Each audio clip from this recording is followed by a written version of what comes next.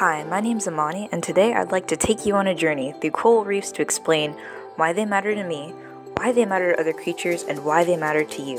For starters, I grew up with coral reefs by watching lots of nature documentaries and finding Nemo. Plus, I really love how they're interesting to look at. Every reef's incredibly unique in its own way, especially in how they're all shaped differently. It's hard not to look at them and wonder how long they've existed for, because they stay in one place from birth to death. It's surprising, but coral reefs have existed for thousands of years. In terms of where they are, they can be found underwater for scuba divers to visit, towards the surface of the ocean, in tropical waters like the Great Barrier Reef in Australia. Because of different locations, the colors are full of life when the reef is closer to the surface from the sunlight, or the colors will look a little bit darker when it's deeper underwater. More importantly, though, outside of their looks, reefs matter since they're habitats to many creatures. There's way too many to list in this video though, so I'm only going to focus on a couple of the smaller fish. If you remember Nemo, then clownfish are familiar. These fish live in anemones. Anemones can be attached to coral reefs or can be found off of them in other parts of the ocean. Did you know that anemones are actually killing machines?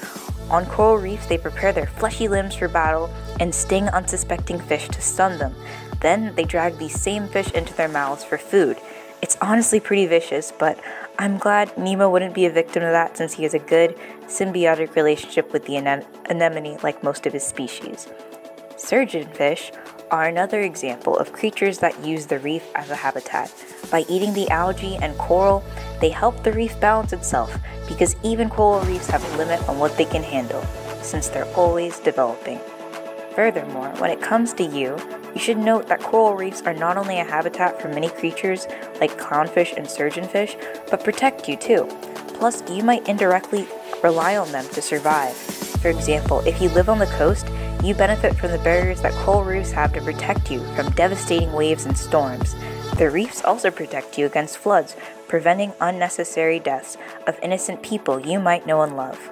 According to the U.S. Geological Survey, coral reefs dissipate up to 97% of coastal flooding, as well as erosion using their wave energy.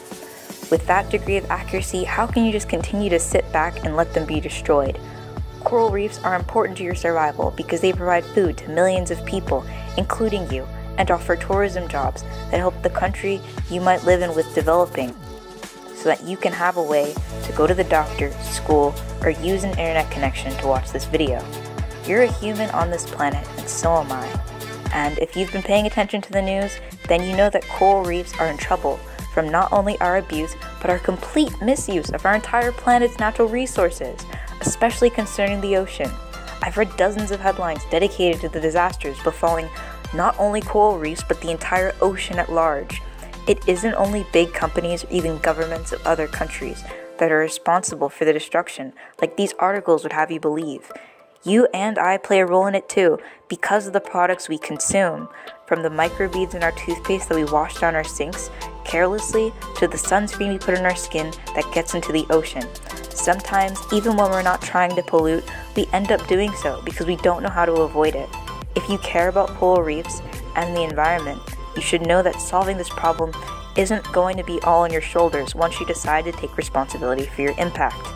Organizations such as the Coral Reef Alliance, the Marine Conservation Institute, plus even a cat food company called Sheba, with a dedicated YouTube channel for growing coral, are among many others who are working to save coral reefs. They are at your service. You can make a difference by joining these organizations to be directly involved learning habits you can change to be more sustainable towards the ocean, or by being someone who donates to the cause so that others can continue the fight against the destruction of coral reefs, for the thousands of innocent creatures living in our oceans who help you and I prosper. You might divide the world by arbitrary lines of continents, argue over who owns what piece of land or who owns what piece of water, but at the end of the day, everything here is a part of Earth, so I know we should be protecting everything together. Thank you for watching.